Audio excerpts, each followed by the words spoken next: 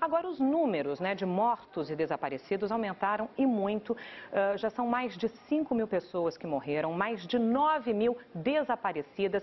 Eu gostaria de mostrar agora algumas imagens feitas por um repórter japonês, logo depois do tsunami de sexta-feira passada, que nós recebemos agora há pouco.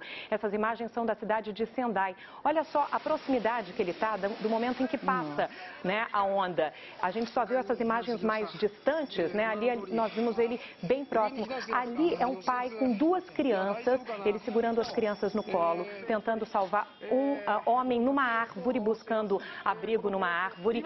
E ali a gente também consegue enxergar, olha ali, uma mulher também no meio dos destroços, acenando, eles jogam uma mangueira, ela amarra essa mangueira na cintura e vai sendo resgatada bem devagar, né? Porque, uh, claro, é um momento de, de muita uh, apreensão para todo mundo. Não, e, e com a neve, né, Sandra? Escorregadio super. Exatamente, Mariana. E eu vou mostrar essa imagem agora. Olha a quantidade de neve que caiu logo depois do tsunami.